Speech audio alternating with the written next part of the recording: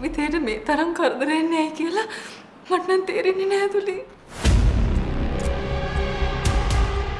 යකෝ මම දුක් මහන්සියලා හම්බ කරනවා. උඹලා මෙතන දාන පාරමිතා පුරනවා. මේක බලාගෙන ඉඳලා හරියන්නේ නැහැ රෙහාන. අතක් පායක් කඩලා දැම්ම නම් හරි. ඕකුන්ට ගෙදරම ඉන්න වෙන්නේ. ආ තම්ස ඒ ලෙවල් එකෙන් දෙන්නේ. තමුසේ වගේ 2.50 චන්ඩින්ට මම බය නැහැ. හරි.